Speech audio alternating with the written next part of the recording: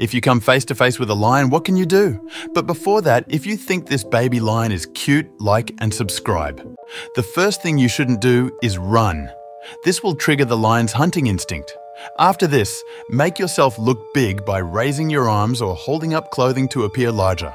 You should also yell, shout, or make loud noises to intimidate the lion. If you succeed, you can then back away slowly. So,